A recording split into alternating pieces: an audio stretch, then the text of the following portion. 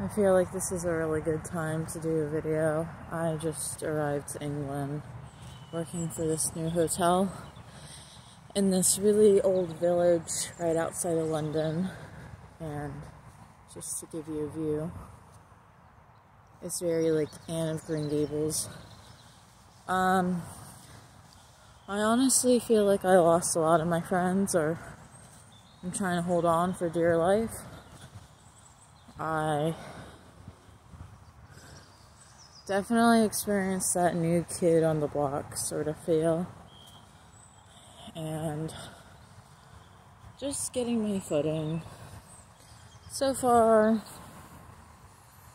I'm exhausted, I'm jet lagged, but the company I'm working for is really good.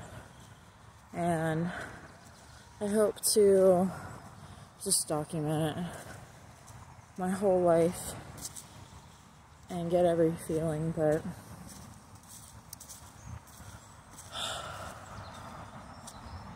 it's just totally new. And this opportunity has really come at a time in my life where I've been waiting and waiting and waiting, and now it's here. I, I, I just am not ready. But if I had maybe six more months to prepare, this would have been nice, but it's here. And this is probably one of the hardest things just because I was comfortable where I was at. Um, I started accepting my fate. But yeah, lots of miracles, lots of dreams, my dream destination, my dream job. But I will say, I am fatigued, really tired.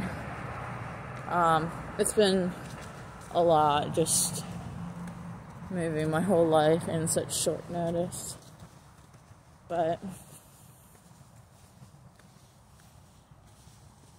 I'm up for the challenge.